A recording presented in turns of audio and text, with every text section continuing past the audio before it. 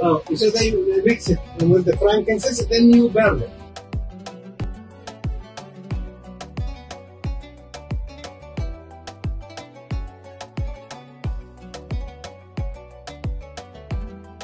These, mm-hmm. this is the frankincense that is used for burning. They come with impurities. The impurities they come from the branches of the tree, as you can see here, yeah.